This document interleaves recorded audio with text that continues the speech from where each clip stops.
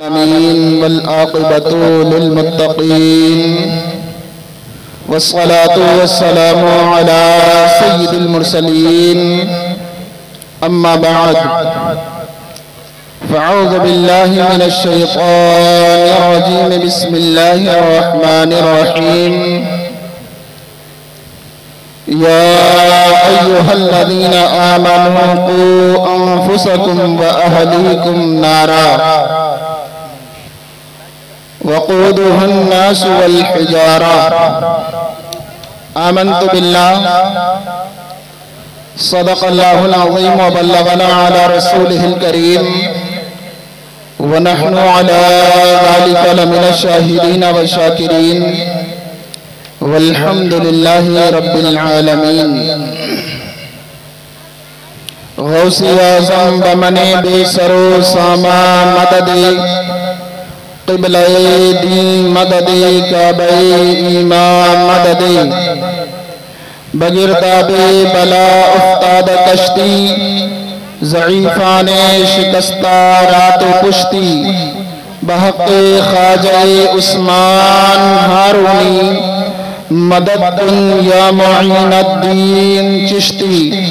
कादरियम नारिया गौसी आजमी सनम दम दशेर अहमद रजा खां कुतबी आलम में सनम सरवर कहूँ के मालिको मौला कहूँ तुझे बागे खलील का गुले जैबा कहूँ तुझे लेकिन रजा ने खत्म सुखन इस पे कर दिया खालिद का बंदा खल्क का आका कहूँ तुझे मेरा इमाम कहता है जमीनों जमा तुम्हारे लिए मकीनों मका तुम्हारे लिए जमीनों जमा तुम्हारे लिए मकीनों मका तुम्हारे लिए चुनीनो चुना तुम्हारे लिए बने दो जहाँ तुम्हारे लिए बदन में है जा तुम्हारे लिए दहन में जबा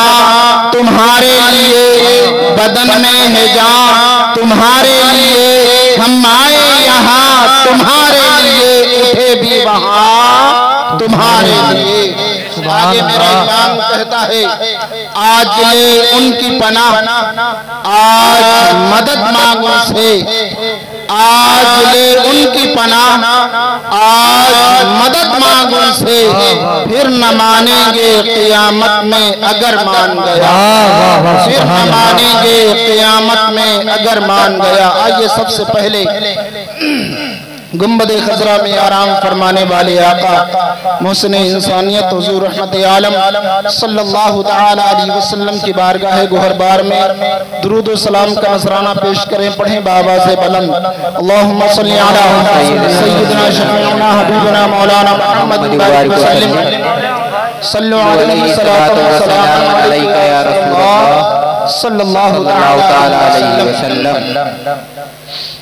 शायद हमें दरूद की फजीलत मालूम नहीं। है जब तो, तो हम इतने खामोश बैठे हैं अगर हमें पता चल जाए दरूद पढ़ने का कितना सवाब मिलता है तो कोई भी काम हम कर रहे हों मगर हमारी जबानों में जबानों से सिर्फ़ दरूद के कलिमात निकलेंगे। शायद हमें नहीं मालूम दरूद पढ़ने का सवाब क्या है। अल्लाह के रसूल सल्लल्लाहु अलैहि वसल्लम इरशाद फरमाते हैं जब कोई मेरा चाहने वाला मुझ पे एक मरतबा दरूद पढ़ता है तो अल्लाह रब्बुल इज़्ज़त उस फरिश्ते को हुक्म देता है उस फरिश्ते को हुक्म देता है जिसके पैर तह तो सरा में है और जिसका सर अरशे आज़म के नीचे है। इतना लंबा इतना लंबा फरिश्ता। जब बंदे मोमिन दुरूद पड़ता है तो उस फरिश्ते को अल्लाह हुक्म देता है, जिसके पैर तहतुसरा यानी ज़मीन के सबसे निचले हिस्से में और उसका सर उसकी लंबाई का ये आलम है कि ज़मीन के सबसे निचले हिस्से में उसका उसके पैर और अरश आज़म के नीचे उसका सर और परों की तादाद इतनी जितनी रब कायनात ने दुनिया में मखलूक पैदा फरमाई। परों की कोई गिनती नहीं।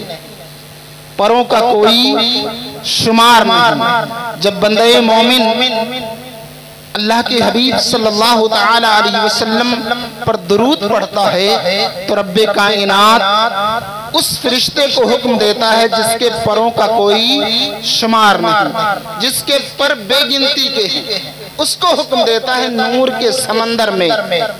नूर के समंदर में गोता जन हो जा। यानी आपकी भाषा में अगर कहूँ तो नूर के समंदर में डुबकी लगा। फरिश्ता नूर के समंदर में गोता लगाता है। नूर के समंदर में डुबकी लगाता है। और जब बाहर निकलता है तो हर फड़ से एक कतरा टपकता है। वाह उस फरिश्ते के पर कितने हैं? जितनी दुनिया के अंदर रब्बे कायनात ने मखलूक बनाई है, और मखलूक का कोई शुमार नहीं है। मखलूक का कोई शुमार नहीं है। रब्बे कायनात उस फरिश्ते को हुक्म देता है जिसके पर इतने हैं, जिसके परों का कोई शुमार नहीं। ऐ फरिश्ते, नूर के समंदर में गोता जन हो जा। नूर के समंदर में गोता लगा। वो फरिश्ता नूर के समंदर में गोता लगाता है। जब बाहर निकलता है तो उसके हर पर से एक कतरा टपकता है। एक पानी का खतरा टपकता है। रब्बे कायनात हर उस पानी के खतरे से एक रिश्ता पैदा फरमाता है। तवज्जो से सुने मेरी बात। आप रोज़ाना आप, आप दोस्त हैं। आपकी दोस्ती रोज़ाना कायम रहेगी। न आप मुझे रोज़ाना पाएँगे न हम आपको रोज़ाना पाएँगे। वक्त को गनीमत समझो वक्त ये वक्त फुर्सत है आपका। ये गोल्डन चांस है आपका। कुछ सुनने का मौका है आपके पास। सुन ले आज और उस पर अमल करें। यही सुनना और उस पर अमल करना। दुनिया में भी हमारे काम आएगा और आखिरत में भी वही काम आएगा। रब्बुल इज़्ज़त उस रिश्ते को हुक्म देता है क्या? नूर के समंदर में गोता जन हो जा। नूर के समंदर में डुबकी लगा वो फरिश्ता गोता जन होता है। और जब बाहर निकलता है तो उसके हर पर से एक कतरा टपकता है। और उस कतरे से रब्बे कायनात हर उस कतरे से एक एक फरिश्ता पैदा फरमाता है। और उन फरिश्तों का काम क्या है? उन फरिश्तों का काम ये है जो हबीब पर दुरूद पढ़ता है वो तमाम फरिश्ते क़यामत तक उसके लिए दुआएँ मगफिरत कर आप चाहते हैं कि खुदा की बारगाह में हमारी मगफिरत हो? आप चाहते हैं कि खुदा की बारगाह में हमें निजात का परवाना मिले जहन्नम से आज़ादी का हमें परवाना मिले?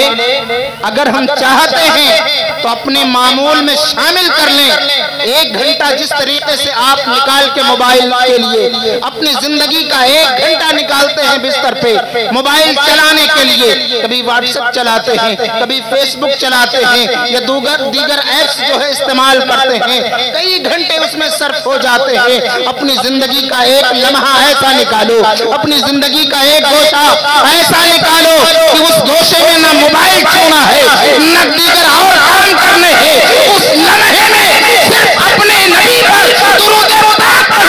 जो ज़िंदगी का अपना मामूल बना लेता है कसम खुदा की रब्बे कायनात बारगाह में उसे जन्नत का परवाना सुभान अल्लाह सुभान अल्लाह